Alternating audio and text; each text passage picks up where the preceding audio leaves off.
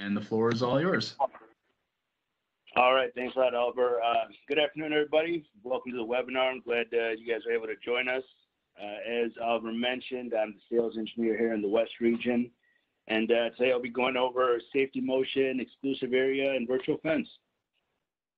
So let's get started. Uh, here's a quick agenda. Obviously, the three topics uh, that we'll be going over, and then we'll end with the Q&A, which will also be um, questions will also be being answered in the chat here on the, on the panel on the side.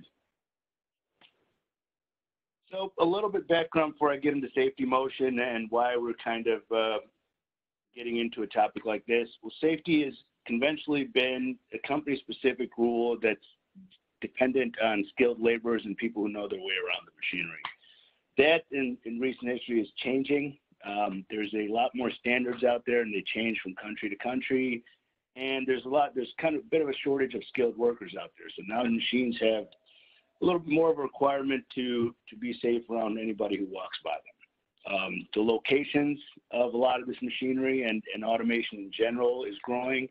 So you have a lot of the new and developing countries uh, brazil india china already well developed countries that have different standards and and different requirements um, and are starting to grow quite a bit in automation. Also, the changes in machinery. So now you have a lot of machines out there that require changes because the product uh, changeover is quite quick and you're going from product to product on the same machine and you want more robust and flexible safety equipment on that. And as society, standards are starting to grow as automation grows and uh, you know becomes more widely used, the, the requirements and the standards are growing around that.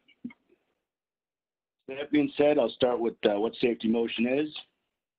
So safety motion is a function we have on our RC8A controller that's going to allow your personnel to work near the Denso robot safely.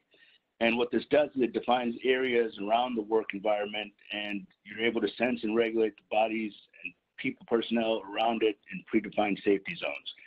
And depending on where the person is relative to the uh, robotic cell, the robot will start to behave differently. Uh, by behave differently, I mean slow down the closer you get to it. Um, it's very flexible in the communication and different types of safety and sensory devices you can use. The standard um, typical ones are going to be your safety light curtains, floor mats, safety scanners, almost anything that can sense and detect where the person is relative to the machinery. And the key benefit, which you'll, you'll hear me talk about throughout the, the safety motion talk, is there's no need to reset the robot uh, when the operator comes close. As you'll see in a lot of industrial robot cells, when you have to go in there to grab something or engage with the cell, you have to shut everything down, e-stop it, and then restart the whole thing. The key benefit of this is there's no need for that downtime. Once you go near it, you can go about your business, and the robot will continue to work. All right, a question we always get, does Denso have collaborative robots? Uh, as most of you already know, we do have our off-the-shelf COBOTTA robot, which is a collaborative robot. But in terms of all of our whole robot line, the answer to that is yes. So with any of our robots, you're able to work without cages and work right next to people with the robot. And all of our robots can be set up this way, as I discussed, as long as you're able to incorporate some sort of safety device around it. It tells us where, where people are relative to the robot. And I'm going to clarify a lot of that with some images and videos here. Also, quickly before I get into the videos and the um, different uh, images on it, I want to go over the standards. So the ISO and the RIA standard to what actually recognizes something as collaborative is two different type of operations. Uh, one being force monitoring. Uh, this requires the operator to be stuck, struck by the tooling or the robot before it stops. Uh, the second way is speed and distance monitoring. Uh, this is the type we're going to describe here where you're using some sort of scanner to stop the robot before it's struck. And, you know, typically, even with the off-the-shelf uh, collaborative robots, it's really the cell or the application itself that would be considered collaborative. If you're selling off-the-shelf collaborative robots to Gillette and you're assembling razor blades, now you have a razor blade at the end of the robot, it's you're going to need some sort of caging or fencing around it that there's no way to apply force monitoring to that scenario because the force from that robot can be extremely um, hurtful. Is probably a better way to describe that, but obviously not a safe environment once you start applying applications like that. So a quick way to do to determine this is ask the customer, do you want to be hit by the robot before it stops or not? Uh, if you're like me and, and few people I've talked to, my counterparts, these robots, the collaborative ones that are supposed to be based on force monitoring, can still apply a significant amount of force. I mean, I've seen people's arms bruised, and it's not necessarily the safest way to do it. Here's a quick image on the right here that shows different uh, zones set up by safety scanner. So based on which zone you're in, the robot will operate at different speeds. And on the left, you'll see just a quick I.O. schematic of where you would plug in your safety equipment and the input and output behind that. And this video actually does a great job of illustrating exactly what safety motion does. So you'll see it at its top speed here when it's furthest away, decelerates when you get into that green zone, slows down to close to a stop but still moving, and then once you break into that red zone, completely stopped. So it doesn't matter what you have on the end of arm tooling there, it's, it's going to come to a complete stop and be collaborative. And then as you see the gentleman moving out, it's going back to its normal operation and now at 100% full speed.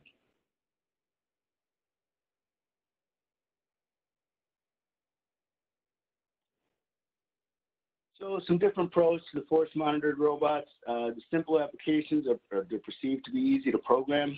Uh, it can be installed next to an operator if the proper risk assessment is performed. Uh, there's lots of different third-party drivers.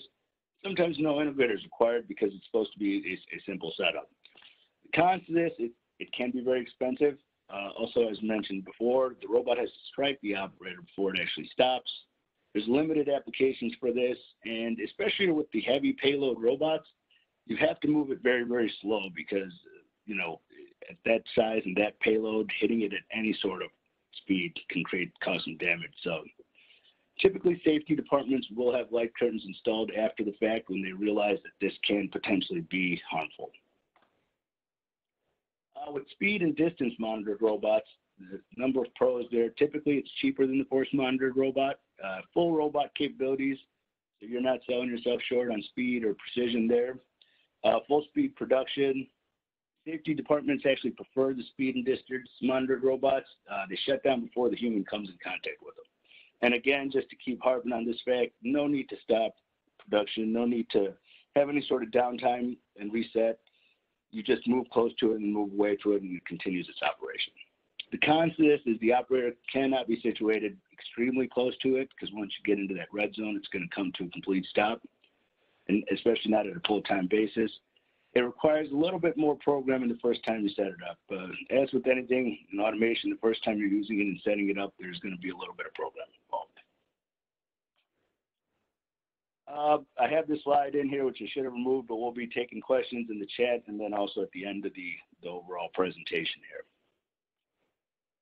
The second feature I want to talk about is exclusive control. Um, exclusive control is a software license that allows you to have a shared area amongst robots. So a lot of times in assembly applications, you're picking up parts from different parts of the cell and you're bringing them into a shared area. Uh, again, this is a useful license when you're using multiple robots. No need for it if it's just a single robot operation, obviously. Um, it requires the license, but if you're using our dual arm uh, license and dual arm setup, it comes alongside it, and, and I'll touch on that briefly at the end of this also. Uh, and as I mentioned, excellent feature to have when you're having multiple areas, multiple robots working in the same area. Here's a schematic showing you how exclusive control uh, gets set up amongst controllers. So you'd have one master controller and then say slave controllers beyond that. And here's an example of where it's showing you three separate shared areas that the robots are working. Here's a quick overview of how the setup process starts. So you have both robots in automatic mode and robot A enters as robot B is waiting. And then you put the pull the robot A out of there and put it in manual mode and B is robot B is already in automatic mode and you move that in. And then you can set up the exclusive area there and, and control the motion around that. Key benefits, a lot simpler programming. Uh, there's tighter monitoring, you're removing the deadlocks, and it monitors both the arm and the tooling. This is showing you an illustration of on the on the right side, you'll see, in, and in the background, the WINCAPS environment for this, and you'll see the blue areas. Once I start the video, it'll be a little bit more clear. And then on the lower left corner, you'll see a video of the robots actually executing this, and then that'll become enlarged, and you can see it see that more clear as well.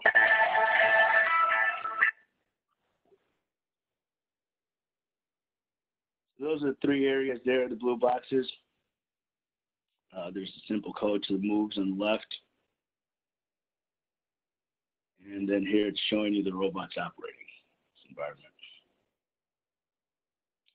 So pretty straightforward. Uh, you're just essentially saying, hey, this is an area both robots will be in, just don't be in it together. And then we'll move along to virtual fence. So virtual fence, this is more of a collision prevention function. So this you essentially create a fence around different objects in your cell, the robot, um, some other static stuff that's in the, in the cell itself. And it creates a mesh around the fenced areas to where it will uh, prevent collision. It stops the robot if anything runs into the fence, and it's a predictive feature that, that plans the robot's path to avoid collision. Here's some images of what that would look like. On the left, you see that green mesh around the robot. And see, in this one, it's fairly detailed. You see some pretty tight fencing around parts. That's in your control. So you can control exactly how loose and how tight you want to make those fenced areas, depending on the nature of the collision prevention you're looking for. Some of the benefits to virtual fence are obviously it avoids collision during recovery, reduces possible downtime due to damaged equipment, uh, and its ability to know if there's a potential collision before the robot even moves using our PacScript, PAC script commands. Uh, this is our dual arm function, which I'll touch on briefly here. So two of the features I've already discussed that are part of the dual arm control. And there's a third one called cooperative control. This allows you to use uh, both robot's arms in a synchronized manner. So say there's uh, a part that requires a longer reach than our robots may have. This, you can use two of them and set them up and synchronize them so they move the part together. Um, also, in a situation where the payload may not be enough, uh, you can double the payload by using two of the robots. And then exclusive control and virtual fence we already discussed. Both are included in the package with dual arm. And this is showing you an image of a shared area and how it was created in this application. Uh, this again is exclusive control, which we've already touched on. Virtual fence we've already gone over as well, so we won't go too deep into this slide here. And then this is a video illustrating the shared area. And again, anytime you have an assembly application, this is pretty standard. Uh, you're usually picking up parts from multiple areas and moving them all into one assembly.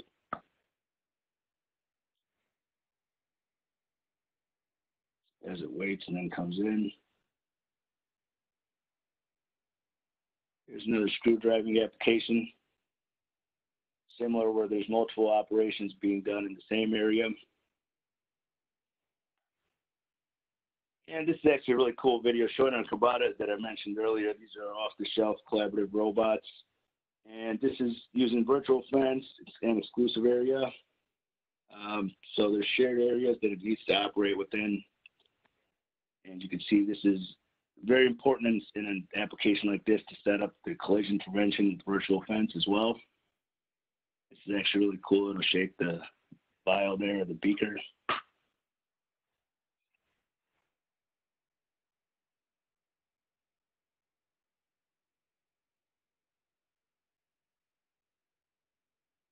And so as you can see, a lot of these features that I've mentioned are built so the robots can work in the same area, essentially making them collaborative to other robots.